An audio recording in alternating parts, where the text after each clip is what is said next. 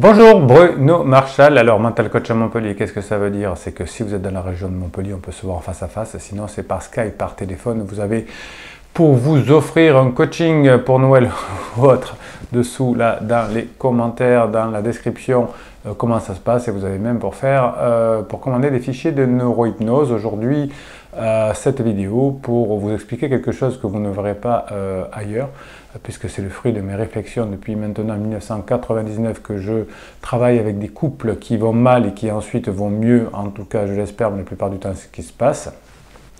Qu'est-ce qui va faire que euh, au début ça se passe bien et puis que de plus en plus ça peut aller mal? Alors euh, mon fonctionnement, ma théorie, etc. C'est une des choses que j'ai vues depuis 1999, c'est associer euh, la rencontre à, au phénomène ou à la théorie, comme vous voulez, de subpersonnalité. Alors qu'est-ce que c'est la subpersonnalité? On en parle depuis, depuis les Grecs anciens. Jung, Carl euh, Gustav Jung en a parlé, il appelait ça les archétypes. Dans les années 80, euh, d'autres auteurs comme euh, Al Stone et sa femme ont, travaillé sur cette notion de subpersonnalité, puis des, neuro, de des neurologues pardon, comme Benjamin Libé, etc. etc. Donc qu'est-ce que c'est ces, ces subpersonnalités C'est des différentes personnalités que l'on a en nous, et en fonction de, blessures ou d'actions, on ne va pas avoir les mêmes qui vont être mis en action. Qu'est-ce que ça veut dire ça? Ça veut dire que euh, simplement, euh, par exemple, euh, lorsque je vais, je vais faire une rencontre, je suis célibataire, je vais avoir une de mes subpersonnalités qui va s'éveiller et qui va prendre le pas sur les autres. Alors je vous explique comment ça fonctionne. Par exemple, dans une, dans une rencontre, c'est ma subpersonnalité euh, qui n'est pas nourrie, qui est liée à la protection. Euh, j'ai besoin de me sentir protégé, notamment si je suis une femme ou un homme d'ailleurs, et donc je veux rechercher quelqu'un qui me protège.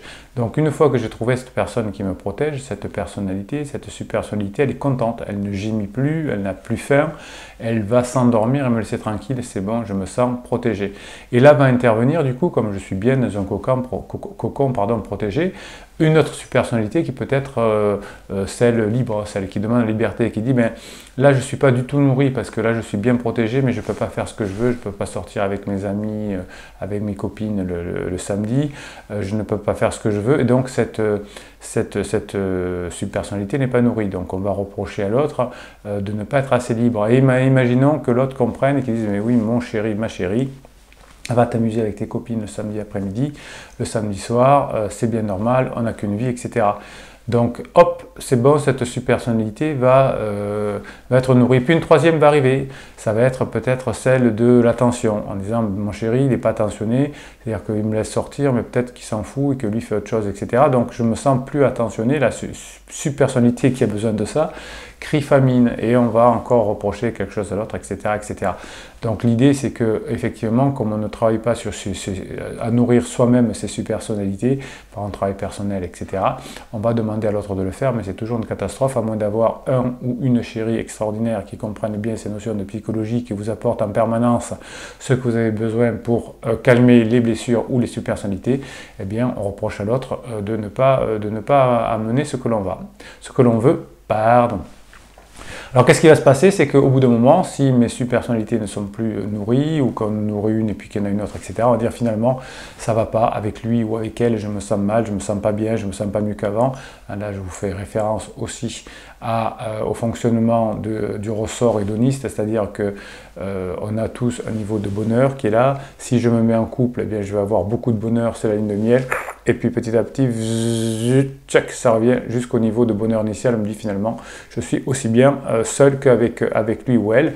Donc je vous explique dans une vidéo comment, comment ça fonctionne pour ralentir le fait de revenir au bonheur initial. Au contraire, si j'ai un grand malheur, je prends une grande claque, clac, moment de, douleur intense et puis petit à petit, ça revient. Et là, je vous dis dans une autre vidéo comment tac, revenir plus rapidement. Donc si mais si finalement je m'aperçois au bout d'un certain temps que euh, je me sens mal parce qu'une autre des sub-personnalités n'a pas été nourrie, euh, que mon chéri ou ma chérie m'en a, nourri d'autres, mais je me sens toujours mal, donc je vais quitter la personne et euh, je vais essayer de retrouver quelqu'un qui, qui, qui, va mieux avec moi ou pas d'ailleurs, ou me retrouver seul, mais au bout d'un moment, qu'est-ce qui va se passer? C'est que c'est pareil, c'est la petite sous-personnalité initiale, je crois que j'ai dit celle de la protection, mais peu importe, qui va y regémir en disant aïe aïe aïe, je suis plus aimé, je suis plus protégé, trouvons-moi quelqu'un. Et hop, là, je retrouve quelqu'un qui va me protéger. Et le cycle recommence. Les psys vous euh, appellent ça souvent euh, euh, un schéma de répétition générale, un schéma, on répète toujours le même schéma. Ils ne savent pas trop pourquoi. Moi, je vous l'explique, c'est un phénomène de supersonnalité. Et il faut nourrir la deuxième, la troisième, etc. Et au bout d'un moment, ça ne fonctionne pas et on se resépare, etc.